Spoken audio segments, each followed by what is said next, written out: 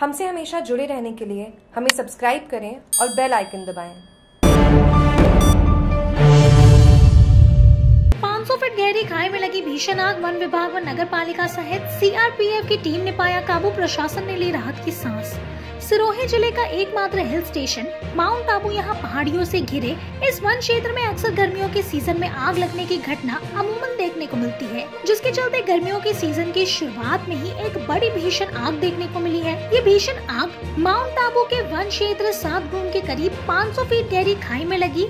आग से प्रशासन हमले में हड़कम मच गया। सूचना मिलते ही वन विभाग की टीम पालिका आपदा दल सहित सीआरपीएफ की दमकल मौके पर पहुँची और इन सभी के सहयोग से 8 बजे पर कड़ी मशक्कत के बाद देर रात्रि को करीब 9 घंटे बाद दमकल की सहायता से आग पर काबू पाया गया, जहाँ प्रशासन अधिकारियों ने आग पर काबू पाने के बाद राहत की सांस ली है।